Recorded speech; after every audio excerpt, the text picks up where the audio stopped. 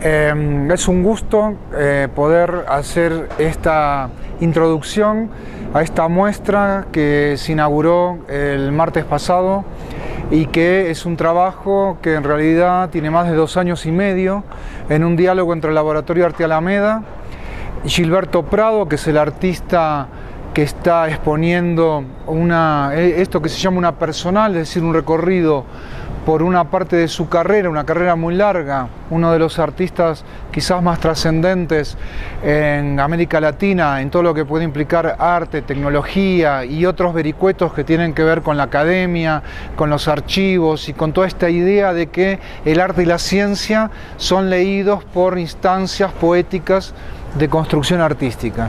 Entonces a partir de eso hay todo un trabajo que se fue realizando durante el tiempo, en donde la idea original de la directora de este lugar, Tania Edo, fue que le interesaba poner en escena la obra de Gilberto a lo largo del tiempo, a partir de piezas históricas o documentación, y por otro lado, creo que una de las partes más interesantes que tiene esta exposición, que hay varias obras pensadas para el contexto del Laboratorio Arte Alameda,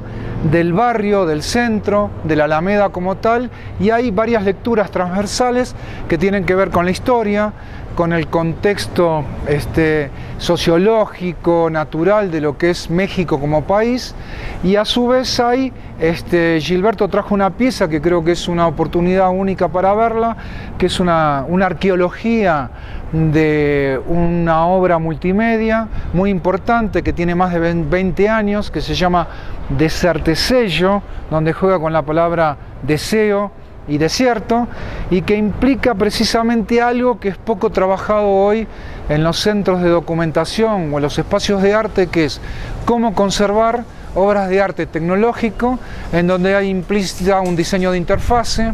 programación, lectura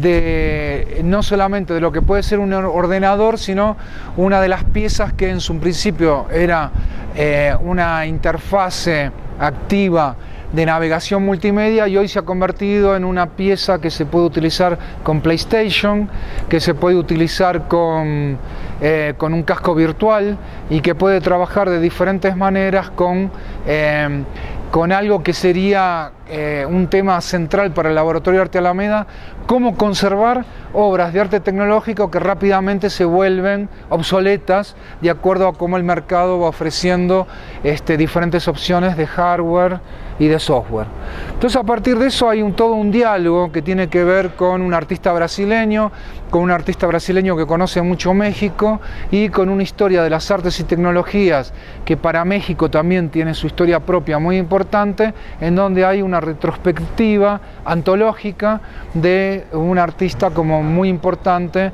en relación a este rubro que también este, habla mucho con lo que es el IMBA, en donde el Instituto Nacional de Bellas Artes le da un lugar a lo que puede ser arte, tecnología y donde se combina todo un pensamiento biológico con plantas, con eh, diferentes eh, manipulaciones de hardware, de software, de programación, desde lo que puede implicar la electricidad, una prelectura electrónica que quizás hace referencia a la obra de Víctor Gripo, y otros artistas que fueron trabajando pioneramente biología y tecnología, hasta trayectos con obras muy sofisticadas donde hay largos procesos de programación, de diseño de interfase, de trabajos con la transmisión a partir de lo que pueden ser sensores, wifi